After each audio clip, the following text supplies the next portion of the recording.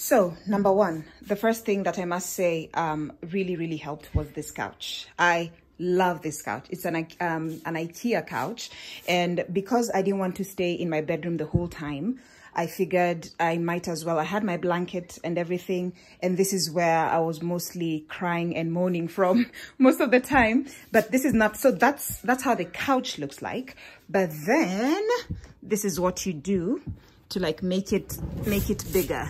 You pull it out like that. I'm using one hand, so it's becoming a bit difficult. Fuck. Okay, let's do it.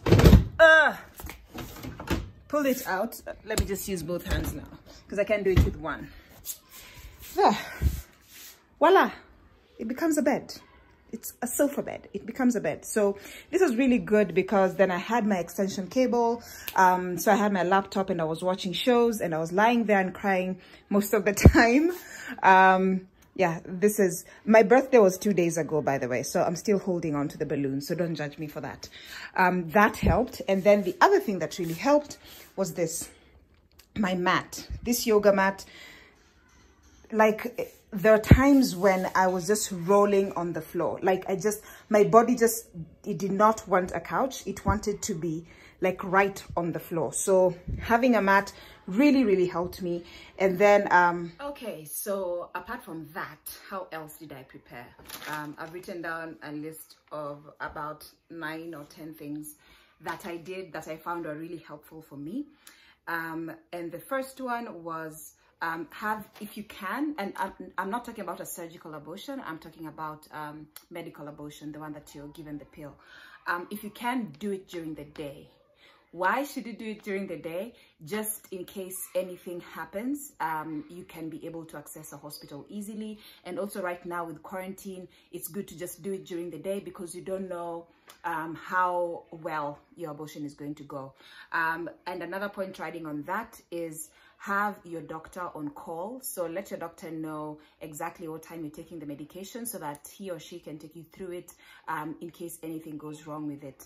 Um, also identify a hospital or a clinic or a medical center that is close to you so that again if you need any emergency um, evacuation you can have it actually when you sign because before you have the abortion you have to sign a consent form on that consent form they also say in the unlikely event um, that you overbleed or something goes wrong, you need to be ready for an evacuation. Like you need to be ready to be taken to a hospital. So for me, in my previous residence, I would say I was staying next to a very major private hospital in this country. So it was about, um, maybe I can say it is about like a five minute drive to the place. So my my plan was because um, I didn't know how everything was gonna go. Uh, my plan was, especially at night, because I didn't know how I was gonna be feeling at night. Um, I had my friend on call, so I was like, in case anything happens, she stays about maybe 10 minutes away from my house, or she used to before I moved. So I was like, in case of anything, please be on call because I'm gonna have, you're gonna have to drive me to hospital. And it didn't matter if it was past curfew or before curfew. I was like, you have to drive me to hospital. That was my first option. Second was I'll just drive myself. If it's not, um, if I'm not in too much pain, I'll just drive myself. But then chances are, if I'm going to hospital, then I'm definitely in too much pain. Uh, and because of the curfew, um, there was no the, i didn't have anyone else to keep on call like a taxi guy. If i had a taxi guy and there was no curfew then i'd definitely have him on call just in case. So this is advice for before curfew and after curfew. Just have someone on call either someone in your house with you because i was alone. I had to call someone to keep them on call.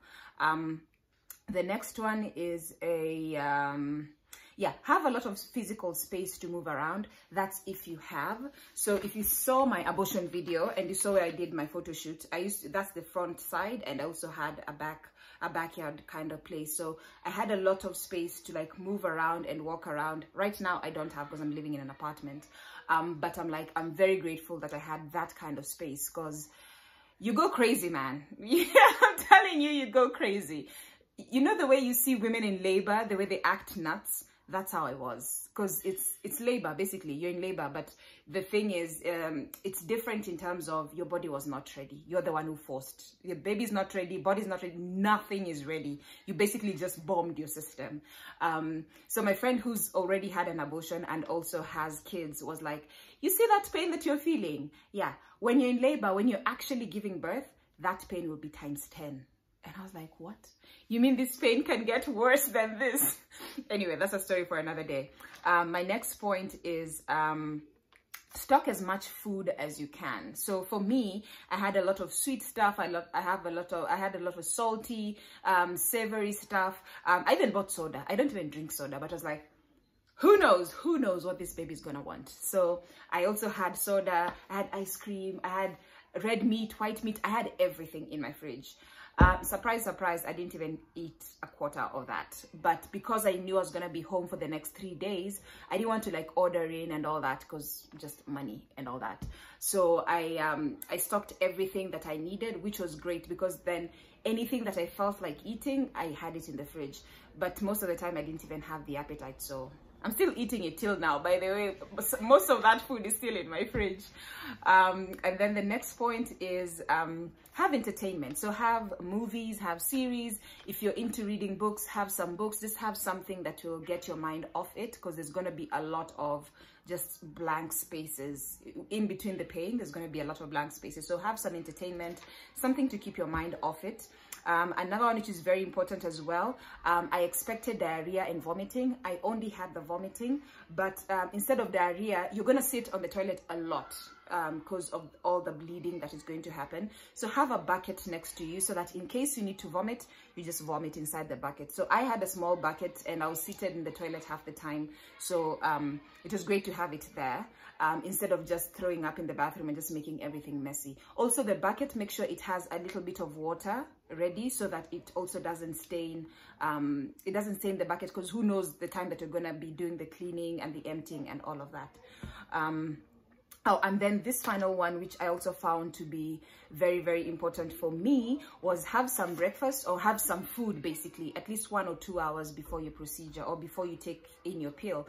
Reason for that is you're going to have a lot of vomiting. Actually, everyone that I've talked to who's done the pill um, way vomited i haven't talked to anyone who hasn't vomited but if you if you won't vomit that's up to you but for from from my own experience but then all these stories are from my own experience um it's good to have some food because um, when you start vomiting, you're going to vomit everything and then it will get to a point when you're just vomiting air.